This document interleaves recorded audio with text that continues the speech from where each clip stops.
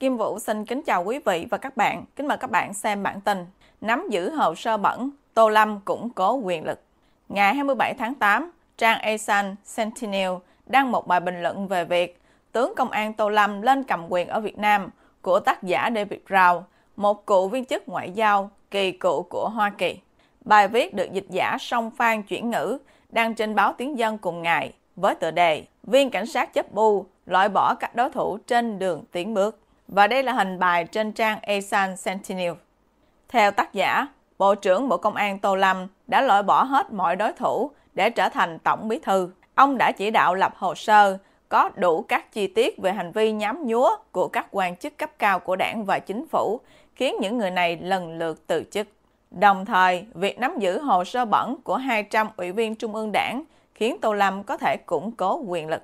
Do đó, khi ông trọng mất, Bộ trưởng Tô Lâm đã có vị thế độc nhất để giành quyền lãnh đạo đảng. Tác giả cho rằng cuộc chiến chống tham nhũng và tiêu cực sẽ chỉ là thứ yếu đối với nền kinh tế đang phát triển của Việt Nam. Lực lượng lao động Việt Nam vẫn còn tương đối trẻ, các doanh nghiệp công nghệ cao ở Hoa Kỳ và các quốc gia tiên tiến khác đang háo hức tìm các cơ hội lớn thuê người nước ngoài để tăng trưởng. Tác giả phân tích, nếu trả lương xứng đáng cho các viên chức chính phủ và khen thưởng sáng kiến của công ty để chống lại tham nhũng, thì nền kinh tế Việt Nam có thể phát triển bất chấp chiến dịch chống tham nhũng, không hồi kết. Tác giả lấy ví dụ về sự phát triển của ngành năng lượng Việt Nam mà ông đã quan sát nhiều năm. Theo đó, những người cải cách trong chính phủ và những nhà hoạt động môi trường đã đánh vật để được thông qua kế hoạch thực hiện quy hoạch điện 8, chuyển đổi từ sự phụ thuộc vào than sang khai thác nguồn năng lượng gió và mặt trời dồi dào với sự hậu thuẫn từ đầu tư của các nước phương Tây. Tác giả cho biết, đến cuối năm 2022, mọi thứ dường như đi vào nề nếp. Thủ tướng Phạm Minh Chính phát biểu tại COP26, tức Hội nghị thượng đỉnh về biến đổi khí hậu rằng Việt Nam sẽ đạt mức phát thải carbon ròng bằng không. Một nhóm các quốc gia phương Tây được tổ chức dưới tên quan hệ đối tác chuyển đổi năng lượng công bằng hứa sẽ quy động 15,5 tỷ Mỹ Kim cho Việt Nam. Và đây là hình tân Tổng bí thư Tô Lâm. Tuy nhiên, tác giả cũng cho biết các cựu quan chức Bộ Năng lượng và các đồng minh của họ tại các công ty độc quyền than, khí đốt và dầu mỏ quốc gia để kéo lê việc thực hiện quy hoạch điện 8 dù đã được phê duyệt. Vẫn theo tác giả, năm 2023, mọi thứ tan vỡ khi quy hoạch điện 8 không được thực hiện và Công an Việt Nam bắt giữ lãnh đạo của các nhóm ủng hộ năng lượng tái tạo, những chuyên gia đã thành công trong việc vận động Thủ tướng. Tác giả lưu ý đến việc cựu Thủ tướng Nguyễn Tấn Dũng đã nổi bật tại một cuộc họp mặt như những cựu quan chức cấp cao do Tổng bí thư Tô Lâm tổ chức. Tác giả dẫn giải thích của nhà phân tích David Hutt gần đây. Theo đó, Dũng tin rằng đảng có thể hạn chế quyền lực của khu vực kinh tế tư nhân hiệu quả nhất bằng cách bắt tay với nó. Các doanh nhân và ông Trùm sẽ cần đến đảng để tiếp cận đất đai, ký kết hợp đồng và giành được các phán quyết có lợi từ tòa án. Tác giả nhận định đó là sự mô tả khá chính xác về cách làm mọi thứ để được giải quyết ở Việt Nam. Điểm khác biệt duy nhất là Tô Lâm đã dùng sự thông đồng giữa khu vực kinh tế tư nhân và các quan chức để trừng phạt, bãi chức và đôi khi là bỏ tù các quan chức. Tác giả nhận xét, không có dấu hiệu nào cho thấy Tô Lâm sẽ sử dụng hệ tư tưởng để thúc đẩy cán bộ đảng và đánh giá năng lực của họ để thăng chức. Tô Lâm là một người thực dụng và dễ dàng tiếp cận hồ sơ của mọi ngôi sao đang lên trong đảng. Việc ông tái đắc cử làm tổng bí thư đảng sẽ là điều chắc chắn trước tháng 1 năm 2026 tại Đại hội đảng 14. Quý vị và các bạn đang xem chương trình trực tiếp của Kim Vũ với bản tin Nắm giữ hồ sơ bẩn, Tô Lâm củng cố quyền lực. Tô Tổng đã vượt tất cả những người tiền nhiệm trên nhiều phương diện. Ngày 26 tháng 8, AFA Tiếng Việt đăng bài bình luận của blogger Trần Hiếu Trân với tựa đề Những tín hiệu đáng chú ý về Tô Đại Tướng. Tác giả đề cập đến phiên họp bất thường của Quốc hội ngày 26 tháng 8. Cuộc họp này chỉ kéo dài một ngày liên quan đến việc miễn nhiệm, bổ nhiệm và phê chuẩn một số vị trí quan trọng trong chính phủ. Và đây là hình bài trên AFA. Tác giả cho biết, dư luận tập trung chú ý nhiều nhất vào khả năng thay đổi vị trí chủ tịch nước mà Đại tướng Tô Lâm đang nắm giữ. Đúng như các nguồn tin nội chính đã khẳng định, vị trí chủ tịch nước rồi sẽ được kiện toàn trước đại hội 14, nhưng chưa phải trong kỳ họp quốc hội bất thường lần thứ 8 này.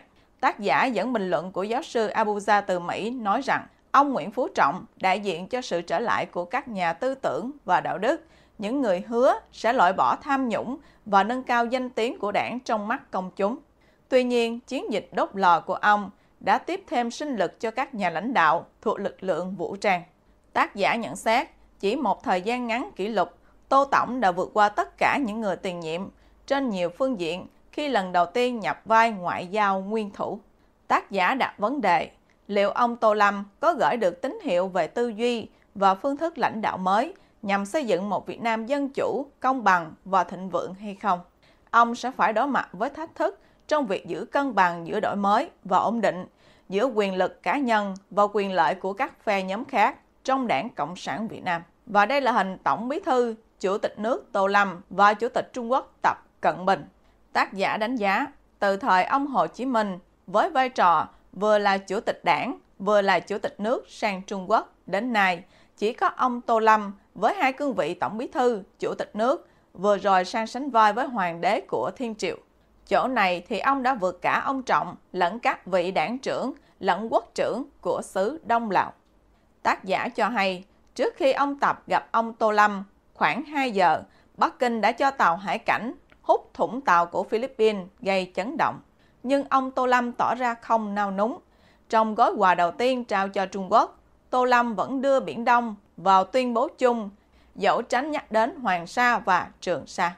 Tác giả nhận định, bản lĩnh Tô Đại Tướng một lần nữa được thể hiện trong việc đảm bảo vị thế của Việt Nam như là bên đóng vai trò chủ chốt trong chuỗi cung ứng toàn cầu, đồng thời tối đa hóa các lợi ích kinh tế và an ninh của mình. Mặc dầu cuộc gặp giữa Tô Tổng và Tập Cận Bình vào sáng ngày 20 tháng 8 cho thấy chuỗi cung ứng của Việt Nam dường như nghiêng về Trung Quốc.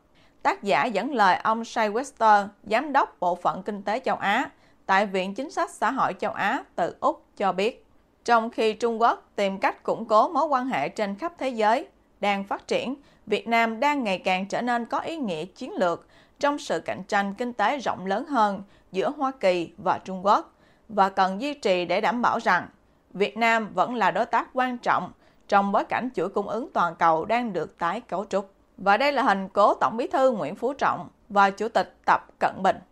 Tác giả trích báo chí quốc tế cho hay, giáo sư Triệu Vệ Hoa từ Đại học Phúc Đáng, Trung Quốc nhận xét, Hoa Kỳ đã và đang theo dõi chặt chẽ mối quan hệ thương mại giữa Hà Nội và Bắc Kinh.